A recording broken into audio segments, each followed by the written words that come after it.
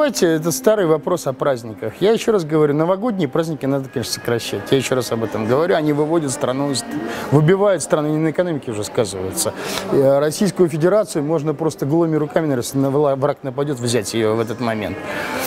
Ну давайте вот, а вот в мае сохраните. Вот людям хорошо бы, так сказать, после зимы, ну такой получить отдых, да, майский такой немножко языческий праздник. Да вообще у нас великий праздник 9 мая, кстати говоря, наступает. Это наш национальный праздник, на который, ну я надеюсь, э, никогда не будет забыт.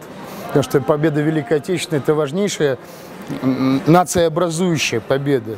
Вот здесь бы, здесь такие выходные, наверное, уместны. Да и они лучше, наверное, вот эти долгие выходные в мае устроить за счет новогодних, потому что весна, природа пробуждается.